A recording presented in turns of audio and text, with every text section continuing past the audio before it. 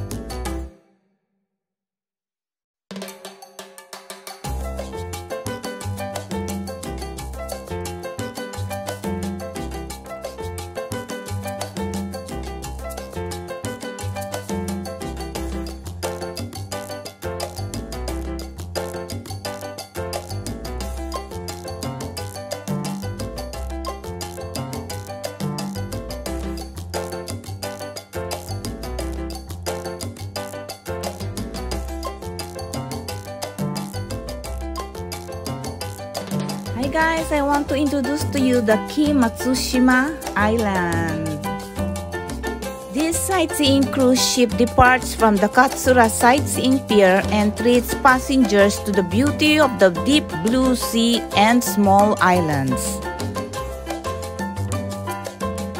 The area is referred to as Kis Matsushima because its beauty is said to rival that of Matsushima considered one of Japan's three most scenic spots.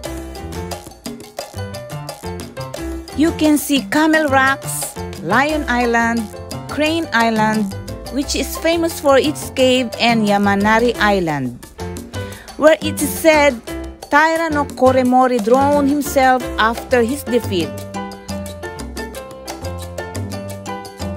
You can also get off at the Taiji Whale Museum partway through and catch another boat afterwards.